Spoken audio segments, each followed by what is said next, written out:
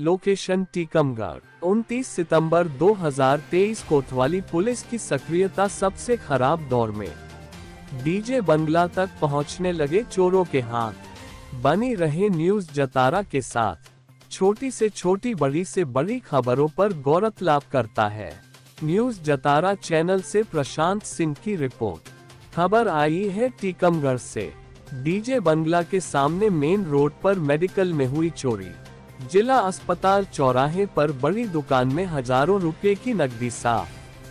टीकमगढ़, कोतवाली थाना क्षेत्र की पुलिस की सक्रियता सबसे दौर से गुजर रही है।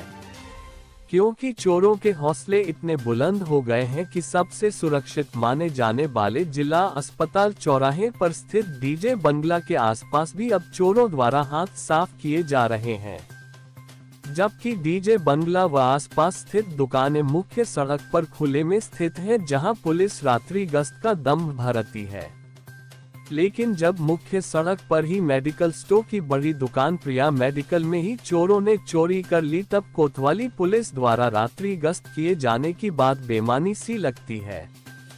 जब मुख्य चौराहे पर खुले में चोरी हो रही तो ऐसे में पुलिस की निष्क्रियता के चलते शहर के अंदरूनी इलाकों, मोहल्लों, गलियारों में तो चोरों के लिए चोरी करना बहुत ही आसान लग रहा होगा।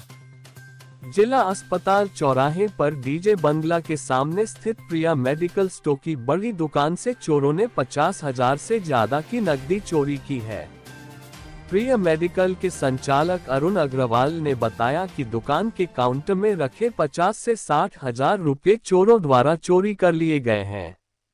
ये चोरी रात करीब दो से तीन बजे के दरमियान हुई है। क्या हो गया? चोरी हुई है हमें रात में। कब? रात में वही तीन से चार पाँच बजे के बीच में। सुबह क्या क्या खुला मिला? ताले एक शटर पूरी खुली मिली हुई है ताला खुला हुआ था ताला भी गायब है।